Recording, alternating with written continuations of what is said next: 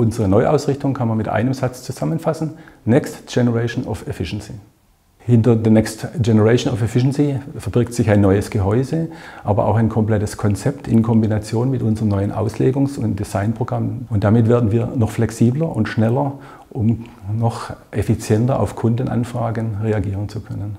Mit dem neuen Gehäuse erreichen wir natürlich alle Dichtheitsklassen.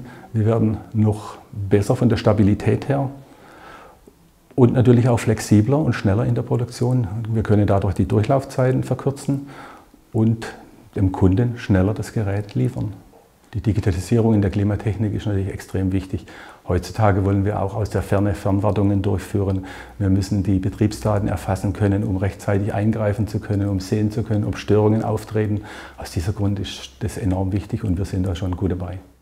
Der Stellenwert der Klimatechnik wird immer größer werden, denn wir wollen den Energiebedarf reduzieren, wir wollen den CO2-Ausstoß reduzieren und, und wir wollen aber auch gleichzeitig einen gewissen Lebensstandard erhalten.